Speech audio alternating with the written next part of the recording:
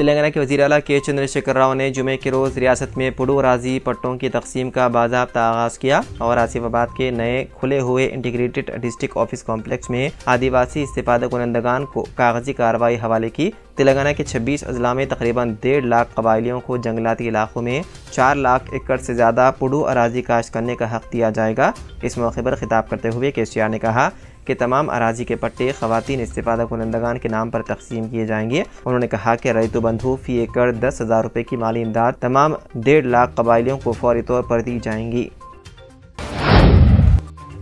मरकज की बीजेपी हुकूमत को बीआरएस के वर्किंग सदर के टी आर ने शदीद तनखीद का निशाना बनाया, जिन्होंने तेलंगाना के साथ अपने वादों को पूरा करने में नाकाम रहने पर मरकज पर तनखीद की।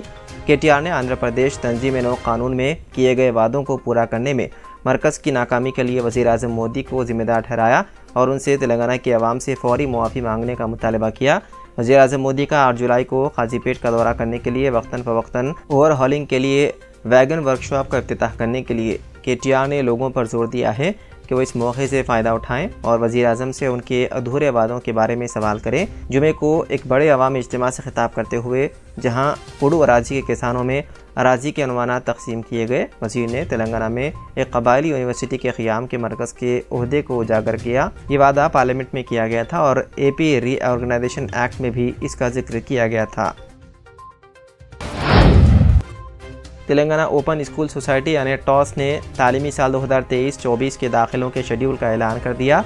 जारी करदा शेड्यूल के मुताबिक दाखिलों का नोटिफिकेशन 10 जुलाई को जारी किया जाएगा और उसी दिन से प्रॉस्पेक्ट्स जारी किए जाएँगे। उम्मीदवार 10 जुलाई से 10 अगस्त के दरमियान मुकर फ़ीस के साथ दाखिला हासिल कर सकते हैं।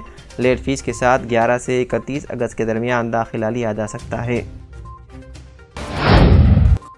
तेलंगाना के ज़िले सिलसिला में अफसोसनाक वाक़ आया पेश। मिडमने डैम में खातून ने अपने तीन बच्चों के साथ छलांग लगाकर खुदकुशी कर ली। महलुकिन की शनाख्त सात साल आयान, पाँच साल असरा जबीन और चौदह माह के उस्मान और उनकी माँ के तौर पर की गई है। इब्तदाई तहकीक़ात में इस इंतहाई इकदाम की वजह घरेलू तनाज़ात बताई गई। इतलात के मुताबिक बिमलवाड़ा अर्बन मंडल के रुद्राराम से ताल्लुक़ रखने वाली खातून की शादी करीमनगर सुभाष नगर के मोहम्मद अली से हुई थी। इस जोड़े को तीन बच्चे बताए गए हैं। आज खातून अपने बच्चों के साथ बोइनपल्ली मंडल सुभाषपल्ली के पास पहुँची और उन चारों ने छलांग लगा दी। पुलिस ने नाशों को बगैर पोस्टमार्टम मुर्दाखाना मुंतकिल कर दिया और इस सिलसिले में केस दर्ज करते हुए मुख्तलिफ़ जावियों से तहकीक़ात में हैं मसरूफ़। मणिपुर के वजी अला एन. बीरेन्द्र सिंह के इस्तीफे की कयास आराइयों के दरमियान उन्हें जुमे के रोज़ गवर्नर अनुसिया ओके से मिलने के लिए राजभवन जाने से रोक दिया गया। दोपहर तकरीबन ढाई बजे बीरेन्द्र सिंह कई विजरा और लीडरों के साथ अपने सरकारी बंगले से बाहर गए तो हज़ारों लोगों, जिनमें बेशतर खातन थी, ने उनकी कार को घेर लिया और उन्हें वापस लौटने पर मजबूर कर दिया। कुछ मीडिया चैनल्स ने गवर्नर को लिखा हुआ बीरेन्द्र सिंह का फटा हुआ इस्तीफानामा दिखाया। मणिपुर हुकूमत के तर्जुमान और सेहत व ख़ानदानी पलाह के वज़ीर सपम रंजन सिंह ने कहा कि कसीर भीड़ ने वज़ीर अला को राजभवन जाने से रोका। रंजन सिंह ने मीडिया से कहा कि मणिपुर में गुजशत कुछ दिनों के दौरान हुए वाक़ात से वज़ीर अला नाराज़ हैं। अब हम आगे की कार्रवाई पर तबादले ख्याल कर रहे हैं।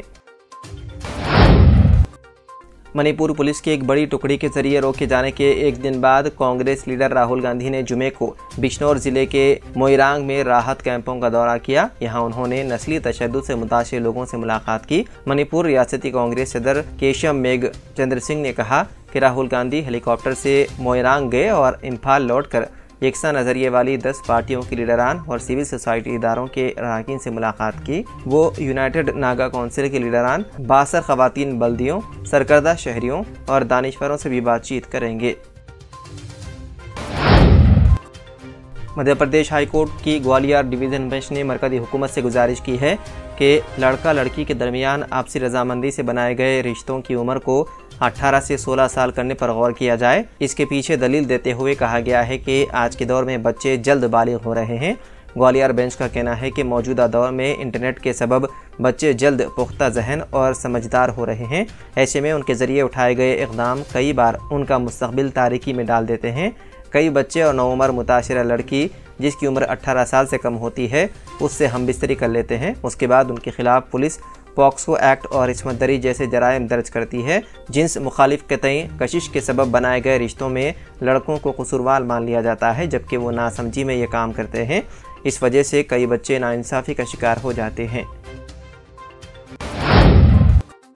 उत्तर प्रदेश में बांदा ज़िले के बाबेर व इलाके में कामासेन रोड पर एक बोलेरो गाड़ी में सवार सात अपराध की उस वक्त मौत हो गई, जब उनकी गाड़ी सड़क किनारे ट्रक से टकरा गई। पुलिस सुपरिटेंडेंट अभिनंदन ने जुमे को बताया है कि कामासेन थाना इलाके के तलसुआ गाँव के कुल्लू में गुजशत देर रात बिजली का करंट लग गया जिसे रिश्तेदार जिसे रिश्तेदार और गाँव वाले बोलेरो गाड़ी में बेरो के कम्युनिटी हेल्थ सेंटर ले जा रहे थे। उन्होंने बताया है कि इसी दौरान तेज रफ्तार बोलेरो बाबरू के करीब केचुंडा गाँव मोड़ पर खड़े ट्रक से टकरा गई। हादसे में 25 साल शकील 24 साल मुशाहिद 18 साल मोहम्मद कैफ, सैंतीस साल सायरा बानू और 13 साल कुल्लू की मौके पर ही मौत हो गई। स्वीडन के दारकूमत स्टॉकहोम की मरकजी मस्जिद के बाहर खड़े होकर एक शख्स ने मुसलमानों की मुकदस किताब कुरान पाक को नज़र आतिश कर दिया। इस एहतजाज में कुल चार अफराद शरीक थे। ये वाक़ अट्ठाईस जून चारशमे के रोज़ उस वक्त रोनुमा हुआ, जब मुसलमानों ने ईद अजहा के अपने त्यौहार को मनाने का आगाज़ किया था। स्वीडन के सरकारी नशरियाती इदारे ने इतला दी है कि जिस शख्स ने कुरान पाक को नज़र आतिश करने की इजाज़त तलब की थी, वो तीस साल एक इराक़ी महाजिर है, जो कुरान पाक पर पाबंदी चाहता है। इस एहतजाज के खिलाफ तुर्की, सऊदी अरबिया, पाकिस्तान और दीगर मुस्लिम ममालिक ने शदीद मुखालफत की। ओबामा के घर को बम से उड़ाने की धमकी देने वाला शख्स को कर लिया गया गिरफ़्तार।